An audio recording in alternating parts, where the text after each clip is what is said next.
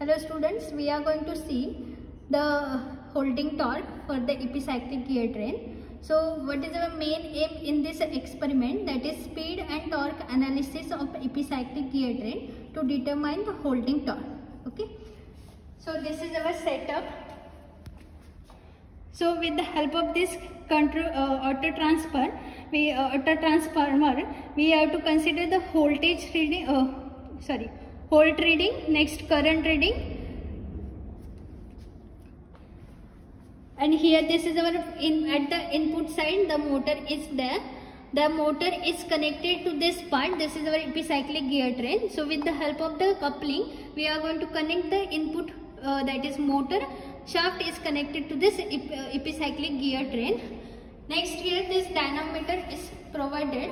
So to when we start the Uh, when motor will starts running at that time the epicyclic gear train will starts rotating. So we have to hold the epicyclic gear train gear train part and to hold that epicyclic gear train part how much torque is required. So for that for the calculation we require the mass which is applied on this external surface of this epicyclic gear train. So the rotating torque will get stopped while considering the reading. So here the dynamometer is provided. With the help of this dynamometer we are going to note down the two masses that is we are going to consider this mass this first that is m1 mass next this one mass that is m2 so m1 and m2 so whatever the net mass which is we are going to apply it applied on this epicyclic gear train so that this will not starts rotating. So this you have to take care while considering the note uh, calculation uh, sorry reading part.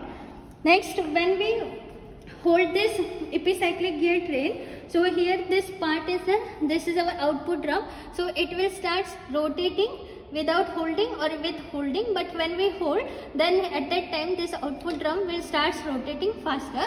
So we have to apply the external load on this output drum. So for that we have considered the another dynamometer so here we are going to consider the mass which is applied to this side on the output drum that is m3 and this mass as a m4 so you have to consider m1 this mass m2 second this is third M3 on the output drum and fourth on the output drum. So M1, M2, M3, M4 that we have to note down by using this dynamometer part. Next we have to note down the speed of the motor shaft that is our input speed and second the speed at the output drum that is our output speed. So we have to consider the some observation So for this experiment we have to consider this observation that radius of the output drum that is given 0.115 meter. Next radius of loading drum that is our epicyclic gear train drum okay that is 0.08 meter and the efficiency of motor that is given 80%.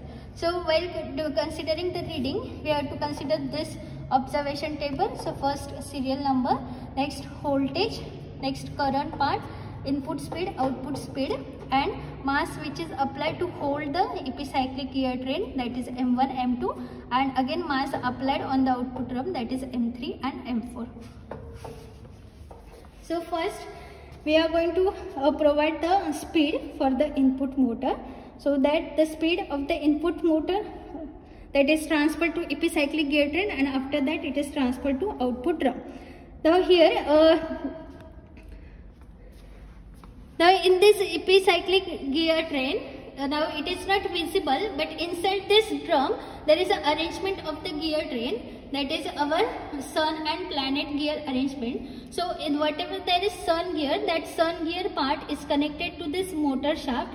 Then sun gear is meshed with the planet gear. And all there are three planet gear inside this drum so that three planet gears are connected with the help of the arm and the arm rotation that is given to this output drum. Okay? So that arrangement present inside this drum. Now we will set the voltage so that the motor will start rotating. So you can